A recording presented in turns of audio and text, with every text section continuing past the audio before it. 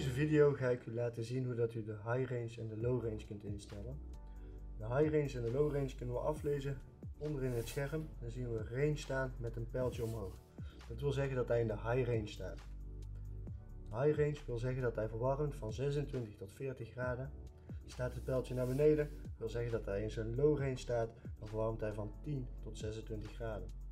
De low range kan handig zijn voor als u een langere tijd geen gebruik maakt van het bad, of eventueel op vakantie bent of wat dan ook. Daar kunt u deze instelling voor gebruiken. Om deze te kunnen aanpassen gaan we het menu in. Om in het menu te komen drukken we eerst op de temperatuurknop, vervolgens op de lichtknop. Nu zien we temp in het scherm staan. Onderin zien we het pijltje omhoog zien we knipperen. Dat wil zeggen dat we deze nu kunnen gaan aanpassen. Dat doen we door middel van één keer op de temperatuurknop te drukken. Nu zien we het pijltje naar beneden staan en kunnen we deze bevestigen met de lichtknop. Nu staat het bad ingesteld op zijn low range. Dat wil zeggen dat hij van 10 tot 26 graden verwarmt.